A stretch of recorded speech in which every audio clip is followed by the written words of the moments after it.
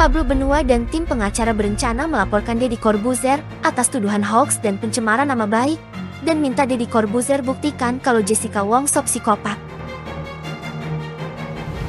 Halo sahabat video informasi apa kabar semuanya?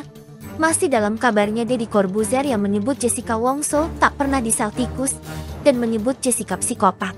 Dalam videonya, Deddy Corbuzier mengatakan tidak ada sel tikus terhadap Jessica Wongso.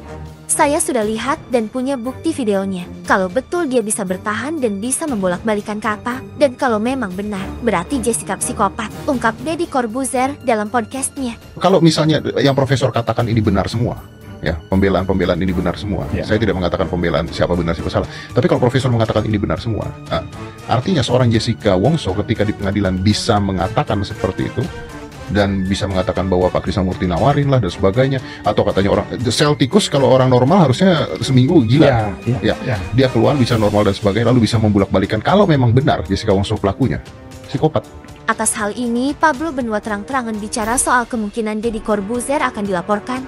Mengingat dia seorang influencer besar dan seorang TNI dengan pangkat tituler, sebuah anugerah atau pemberian, di mana pangkat itu diberikan karena manfaat yang dia miliki untuk mengemban suatu tugas tanggung jawab dari kemenahan. Seperti memberikan edukasi tentang pertahanan dalam masyarakat, bukan malah memberikan kebohongan ke masyarakat. Ungkap Pablo Benua. Sel tikus itu nggak ada buktinya sama sekali. Bahkan saya lihat selnya seperti apa.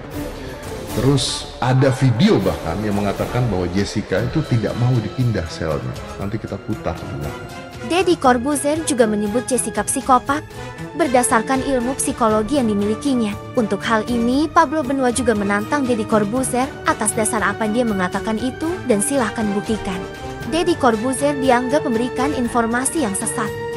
Jangan karena merasa influencer besar bicara seenak jidatnya saja, ungkap Pablo sembari kesal bahkan dia sebut bahwa Jessica itu psikopat di sana kan itu jelas bahwa dia ucapkan Jessica psikopat dia katanya berdasarkan ilmu psikologi yang dia setahu gua ilmu psikologi yang dia punya itu hanya sarjana menurut gua gitu ya. Dia eh, apa namanya setahu gua gitu ya. Itu cuma sarjana.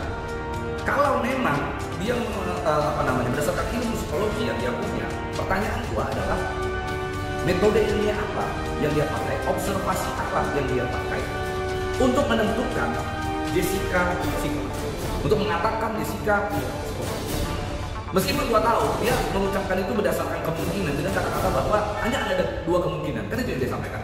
Kemungkinan yang pertama Jessica tidak bersalah, kemungkinan kedua dia mengatakan bahwa Jessica psikopat.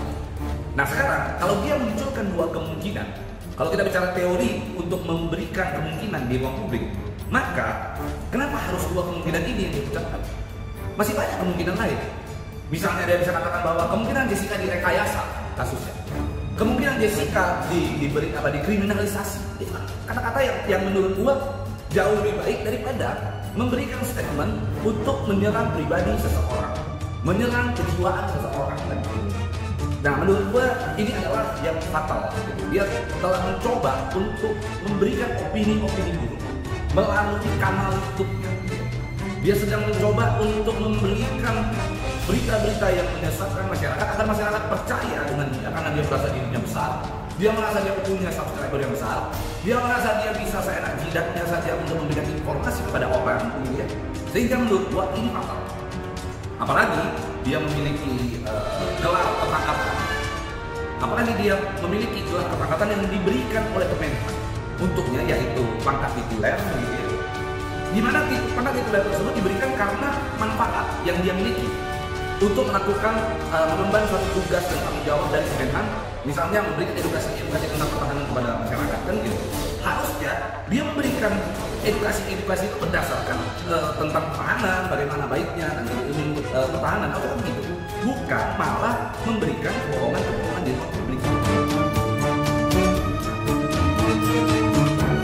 Tim pengacara pembela Jessica sudah mengatur wacana untuk melaporkan Deddy Corbuzier atas tuduhan berita hoax dan pencemaran nama baik. Pablo Benua juga bersuara agar pangkat titulernya dicopot.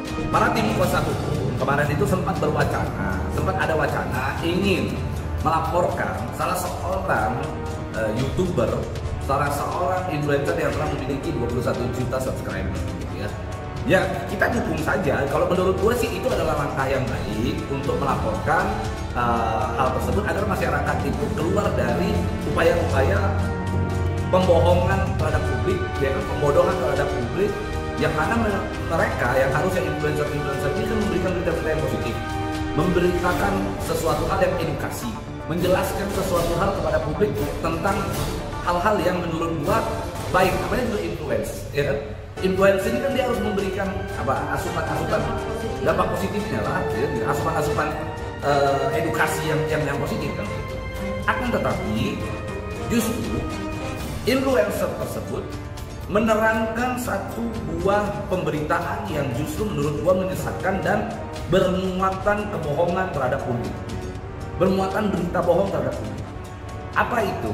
Dia mengatakan bahwa sel tikus itu tidak ada. Tidak ada buktinya bilang. Sel tikus itu tidak ada buktinya padahal di semua pemberitaan jelas mengatakan bahwa sel tikus itu ada. Ditambah lagi dia mengatakan dia sendiri sudah melihat selnya. Dia sudah dia secara dia sudah melihat selnya kalau dia memang sudah melihat selnya, harusnya dia juga ikut mengatakan bahwa sel tikus itu ada. Lalu sel yang mana yang dia lihat? Sehingga menurut gua ini adalah satu bentuk pemberitaan yang yang bohong dan dia mengatakan bahwa dia melakukan riset. Riset yang dia lakukan harus berdasarkan metode secara ilmiah. Dia sudah melakukan observasi belum? Dia sudah melakukan uh, metode ilmiah apa untuk mencapai konklusi bahwa sel tikus itu ada? saya kira bisa jadi akan ada pertimbangan untuk melakukan pelaporan terhadap Deddy Corbuzier. Bisa jadi akan ada upaya hukum untuk itu. Karena menurut gua apa yang diucapkan oleh Deddy Corbuzier adalah ucapan yang cukup fatal. Dan ucapan-ucapan tersebut gua kategorikan sebagai ucapan yang menyesatkan masyarakat. Wah saat ini dia adalah anggota TNI, meskipun itu tituler kan gitu.